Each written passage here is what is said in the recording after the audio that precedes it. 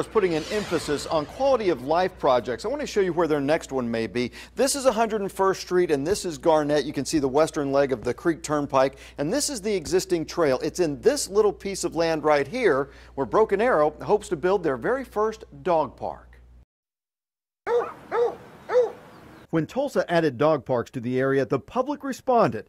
They've been extremely successful. I have to take my dogs over to Tulsa. Barbara Scruggs and her dogs love to be outdoors. They visit various parks, but wish they had a permanent dog park in Broken Arrow. I've been waiting for them to put one in. What we envision being out there is a first class dog park. City leaders say she may get her wish. Part of the city's $60 million bond election would pay for a dog park. It will be built along the trail at 101st near Garnett.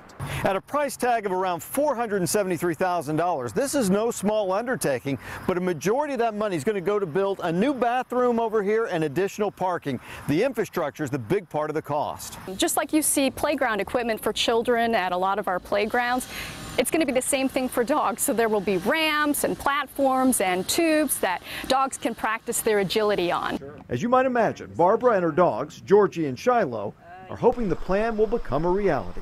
It'd be really nice to have something local where all of our dogs can socialize and play and run free and not have to worry about running away.